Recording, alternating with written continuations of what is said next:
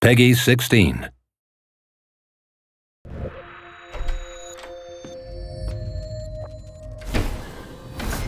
So what do you want?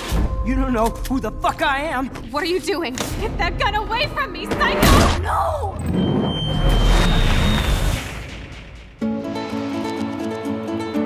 My name is Max Caulfield.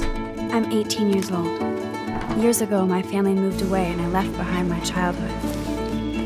After five years, I'm back in my hometown, Arcadia Bay, Oregon.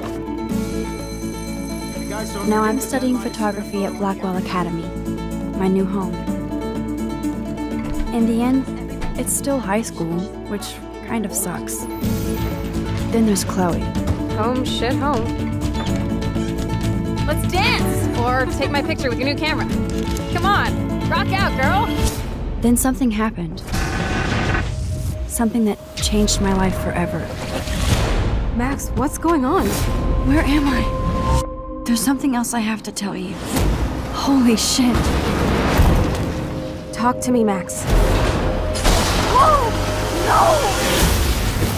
I discovered I could reverse time.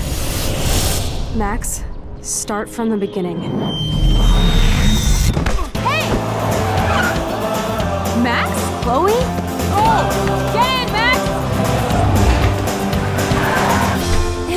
In today. You set off the alarm.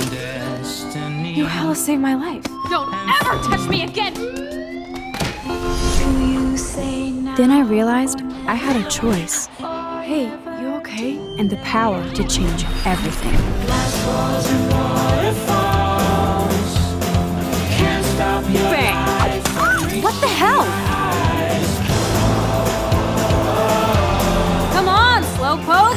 If I see you here again, you'll learn all about real trouble. So, what would you do now?